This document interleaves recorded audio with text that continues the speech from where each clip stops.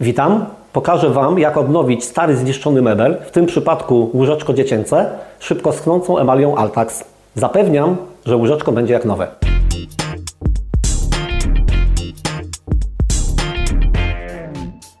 Szybko schnąca emalia Altax jest sucha w dotyku już po 20 minutach.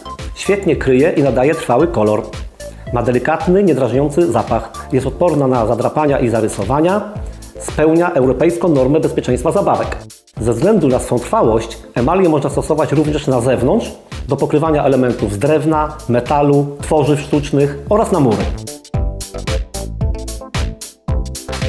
Aby pomalować łóżeczko dziecięce, potrzebne są folia malarska, papier ścierny o gradacji 100, ściereczka, pędzel lub wałek oraz opakowanie szybko schnącej emali Altax. Przystępujemy do przygotowania powierzchni. W tym celu należy ją zmatowić, a następnie odpylić.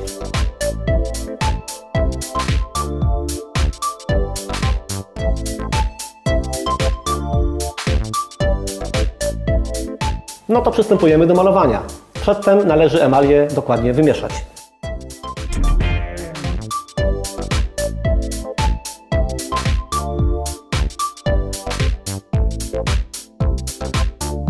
Emalię nakładamy równomiernie, starając się pokryć malowaną powierzchnię.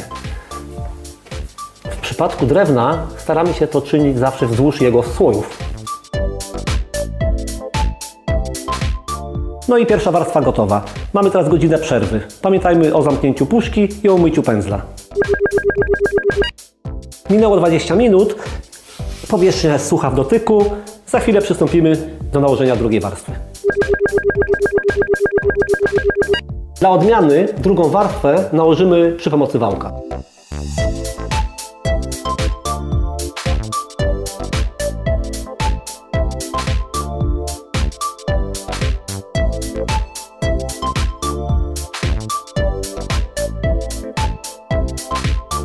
Tak jak obiecałem, łyżeczko wygląda jak nowe.